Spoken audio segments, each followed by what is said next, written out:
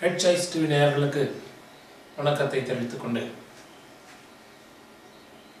மாணவர்களுக்கும் பெற்றோர்களுக்கும் தொடர்ந்து கல்வி சார்ந்த செய்திகளை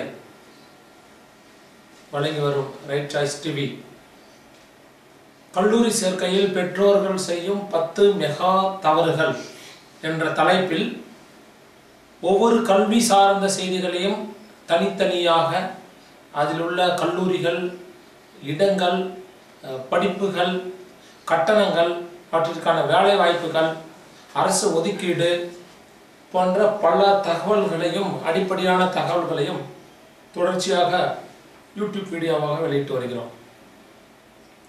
அந்த வகையில் இந்த கல்லூரி சேர்க்கையில் செய்யும் பத்து மெகா தவறுகள் இந்த வரிசையில் ஒரு புதிய கல்வி சார்ந்த செய்திகளை இந்த மீன்வள கல்வி இன்றைக்கு வந்து நாம் காணப்போகிறோம்.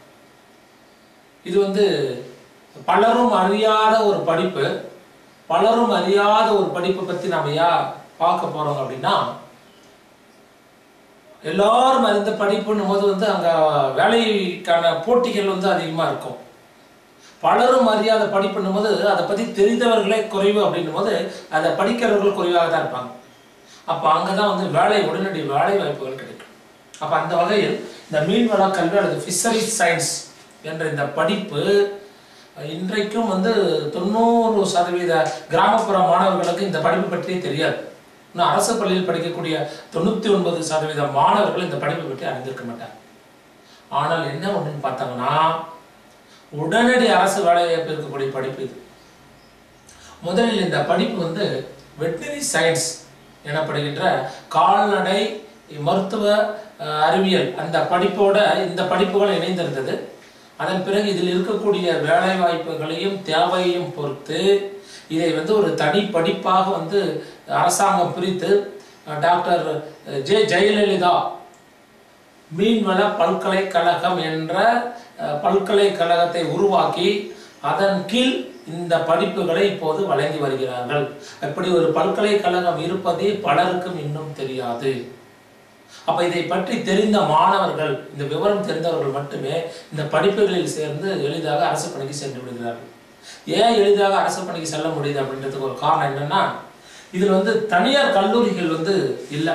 இதில் வந்து கல்லூரிகள் அப்படின்னு பார்த்தோம்னாக்கா மொத்தம் வந்து பதினோரு கல்லூரிகள் தான் இருக்கு. இந்த பதினோரு கல்லூரிகளில் எட்டு வகையான படிப்புகள் நான்கு ஆண்டுகள் கொண்ட இந்த படிப்புகள் வழங்கப்படுது அப்போ இதில் மொத்த இடங்களே பார்த்தோம்னா தமிழ்நாட்டில் இருக்கக்கூடிய மொத்த இடங்களே முன்னூத்தி ஐம்பத்தி ஐந்து இடங்கள் தான் இருக்கு. இந்த முந்நூற்றி ஐம்பத்தி ஐந்து இடங்கள்ல மத்திய அரசுக்கு வந்து ஒன்பது இடங்கள் வந்து ஒதுக்கப்படுது. மீதமுள்ளதில் வந்து ஆறு இடங்கள் வந்து வெளி மாநில மாணவர் கோட்டா அப்படின்னு சொல்லிட்டு ஒதுக்கிறாங்க.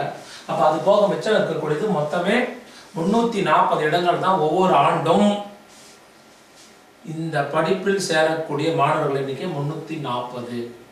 இந்த முன்னூத்தி நாற்பது இடங்கள்ல எட்டு வகையான படிப்புகள் இருக்கு. அது என்ன படிப்புகள் அப்படின்னா BFSc bachelor of fishery science அடுத்தது பிடெக் அப்படிங்கிற பேர்ல பார்த்தோம்னாக்கா பிடெக் ஃபிஷரி இன்ஜினியர் அடுத்தது பிடெக்ல வந்து biotechnology BTech energy and environment பிடெக்ல வந்து ஃபிஷரி அண்ட் நாட்டிக்கல் டெக்னாலஜி அடுத்து வந்து பிபிஏ ஃபிஷரி பிஸ்னஸ் மேனேஜ்மெண்ட் பிஓசியில் வந்து இண்டஸ்ட்ரியல் ஃபிஷரிஸ் ப்ராசஸிங் டெக்னாலஜி அப்படின்ற தலைப்புகளில் வந்து இதில் வந்து படிப்புகள் வழங்கப்படுது. இது எதை பற்றிய படிப்பு அப்படின்னு பார்த்தோன்னா மீன். கடல்ல வந்து மீன் பிடிப்பது தொடர்பாகவும் மீன் வளர்ப்பது தொடர்பாகவும் மீன் ஏற்றுமதி செய்வது தொடர்பாகவும் புதிய வகையான மீன்களை வந்து உற்பத்தி செய்வது கலப்பின மீன்களை உருவாக்குவது இது தொடர்பான பாடங்களை தான் வந்து இந்த படிப்பில் வந்து சொல்லித்தரான் அப்போ இது வந்து ஃபிஷரிஸ் அதாவது மீன் பிடிப்பவர்கள் சம்பந்தப்பட்ட படிப்பு என்று நினைத்து விடாதீர்கள்.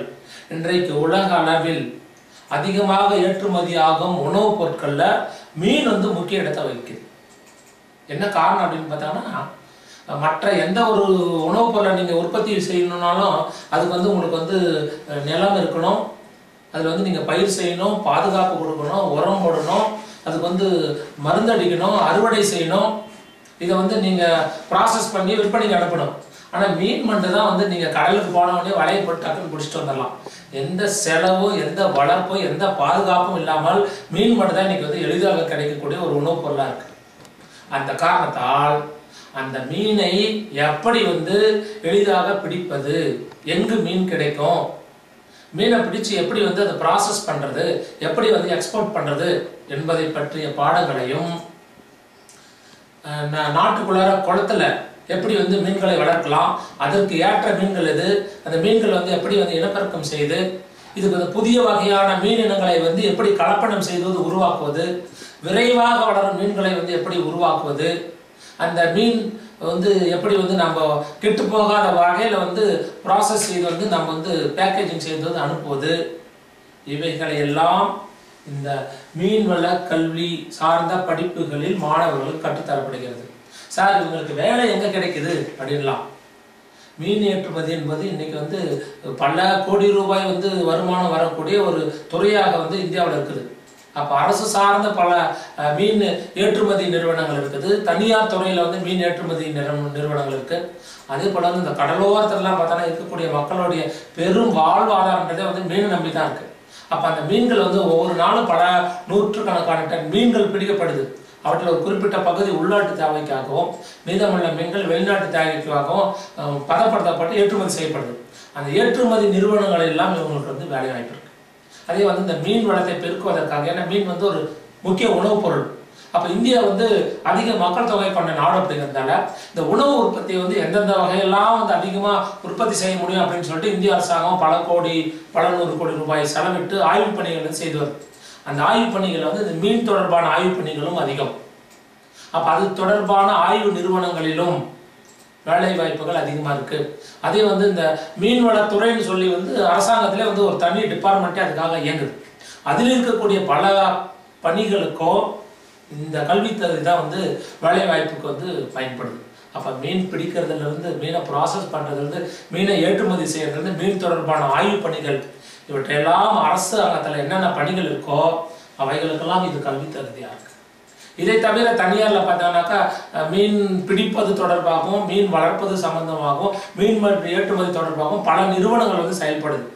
அந்த இடங்கள்லாம் இந்த படிப்புகளை முடித்தவர்களுக்கு வந்து வேலை வாய்ப்புகள் ஏன்னா வேற படிப்புகள் முடித்தவர்கள் வந்து இந்த பணியை செய்ய முடியாது. இந்த படிப்பு முடித்தவர்கள் குறைவு அப்படின்ற காரணத்தினால இது முடித்தால் உங்களுக்கு எளிதாக வேலை வாய்ப்பு கிடைக்கும் ஒண்ணு. இல்ல தனியார் கல்லூரிகள்லாம் வந்து பெருசா இல்லை அப்படிங்கிற காரணத்தினால மொத்த இடங்களை இவ்வளவுதான் அப்படிங்கிறதுனால அப்ப இது முடிப்பவர்கள் எளிதாக அடுத்த ஆண்டே வேலைக்கு செல்ல முடியும். பலரும் அறிந்திராத இந்த ஒரு படிப்பு முன்னாளில் வெட்னரி சயின்ஸோட வந்து இணைக்கப்பட்டிருந்தது. இப்பொழுது இது தனி படிப்பாகவே பிரிக்கப்பட்டு தனி பல்கலைக்கழகத்தின் கீழே செயல்படுகிறது. சார் இதுக்கு எவ்வளவு சார் கட்டணம் வரும் அப்படின்னு நீங்க கேட்கலாம். இல்ல கட்டணம் எவ்வளவு வருது அப்படின்றத விட உங்களுக்கு முதல்ல வந்து இடம் கிடைக்கிற நீங்க என்ன செய்யணும் அப்படின்றத நம்ம தெரிஞ்சுக்கணும். முதல்ல நம்ம ஏற்கனவே சொன்னோம் மருத்துவ படிப்பு எம்பிபிஎஸ் கிடைக்கல அப்படிங்கிற மாணவர்கள் வந்து அடுத்தது எங்க ஓடுவாங்க அப்படின்னா வெட்டினரி படிப்புக்குன்னு சொன்னோம். என்ன காரணம்? அங்க வந்து மாணவர்களுக்கு வந்து நீட் தேவையில்லை. அவர்கள் ப்ளஸ் டூவில் பெறக்கூடிய மதிப்பெண்கள் அடிப்படையில் கட் ஆஃப் அடிப்படையில் வந்து மாணவர்களுக்கு வந்து இடம் ஒடுக்கு ஒதுக்குவாங்கன்னு சொன்னோம். அதே போல வெட்டினரி சயின்ஸில் ஒரு மாணவனுக்கு இடம் கிடைக்கலன்னா அடுத்தது வந்து அவன் அந்த மீன் வளத்துக்கு தான் ஓடுவான். என்ன காரணம் இதுவும் நீட் தேர்வு இன்றி மாணவர்கள் ப்ளஸ் டூவில் பெறக்கூடிய மதிப்பெண்கள் அடிப்படையில் அதில் வந்து கட் ஆஃப் ஒன்று ஏற்படுத்தி அதன் அடிப்படையில் மாணவர்களுக்கு இடம் ஒதுக்கப்படுகிறது. இதற்கு மாணவர்கள் தனியாக வந்து டாக்டர் ஜே ஜெயலலிதா அந்த பல்கலைத்துக்கு ஆன்லைனில் வந்து விண்ணப்பங்களை வந்து விண்ணப்பிக்கணும். கவுன்சிலிங் அட்டன் பண்ணணும். உங்களுக்கு அதுக்கான மதிப்பெண் இருந்தால் உங்களுக்கு வந்து இடம் கிடைக்கும். சார் கட்டணம் எவ்வளோ சார் ஆகும்? அரசு கல்லூரி அப்படின்றாங்களே. கட்டணங்கள் வந்து இதில் வந்து சில படிப்புகள் வந்து சுயநிதி படிப்பாக வந்து இருக்கு. அரசு இந்த டைரக்டாக நடத்தக்கூடிய படிப்புகள்லாம் ஆண்டு கட்டணம் இருபதாயிரம் ரூபாய் இருக்கும். அது சில படிப்புகள் சுயநிதி பதிப்பாக இருக்கு. அந்த படிப்பாக இருந்தால் ஆண்டுக்கு கட்டணம் வந்து உங்களுக்கு ஏறக்குறைய ஒரு லட்சம் ரூபாய் வந்துடும் ஆக இதில் இடம் கிடைத்தால் நீங்கள் வந்து சேர்ந்து கொள்ள வேற ஆஸ்லேஷன்லாம் உங்களுக்கு வேண்டாம். ஏன்னா இடம் கிடைக்கிறது வந்து ரொம்ப ரேரான விஷயம். ஏன்னா பல மாணவர்களுக்கு இந்த படிப்பு பற்றி தெரியல. தெரியாதனாலே வந்து அதிக மதிப்பெண்கள் பெற்ற பல மாணவர்களும் இதுக்கு போகிறதுக்கான வாய்ப்புகள் தெரியாததுனால விட்டுறாங்க. ஆக மாணவர்களுக்கு பெற்றோருக்கு நாங்கள் சொல்கிறது உயர்ந்த மதிப்பெண்கள் ப்ளஸ் டூவில் பெறக்கூடிய மாணவர்களாக உங்களது குழந்தைகள் இருந்தால் நீங்கள் மற்ற படிப்புகளுக்கு விண்ணப்பிக்கும் போது பண்- கண்டிப்பாக இந்த மீன்வள கல்விக்கும் ஒரு விண்ணப்பங்களை அனுப்புங்கள். மற்ற படிப்புகள் நீங்கள் எதிர்பார்க்கக்கூடிய படிப்புகளுக்கு இடம் கிடைக்கல அப்படின்னாக்க கண்டிப்பாக இடம் கிடைச்சிச்சுனாக்கா நீங்கள் வேறு கேள்வியை கேட்காமல் கண்டிப்பாக சேர்ந்து கொள்ளலாம். வேலைவாய்ப்பு உலக அளவில் வேலைவாய்ப்பு உத்தரவாதம் மிகுந்த ஒரு படிப்பாக இந்த மீன்வள கல்வி இன்றைக்கு விளங்குகிறது. இதை போய் தனியாரில் வந்து நீங்கள் படிக்கலாம்னாக்கா தனியாரில் அந்த படிப்புகள்லாம் இல்லை.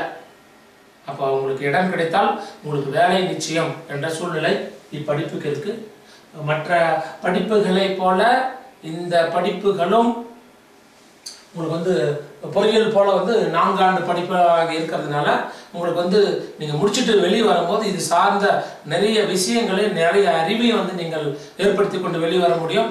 இன்றைக்கி மீன் வளம் அல்லது மீன் எக்ஸ்போர்ட் அல்லது மீன் உணவு என்பது உலக அளவில் எல்லா நாடுகளிலும் வந்து பயன்படுத்தக்கூடிய ஒன்று அப்படிங்கிறதுனால உலகத்தில் எங்கே போனாலும் நீங்கள் வந்து வேலை பெற இயலும் என்று இப்படிப்பு சார்ந்தான செய்திகளை உங்களுக்கு வந்து ஒரு அடிப்படையான தகவல்கள் எல்லாம் கொடுக்குறோம்.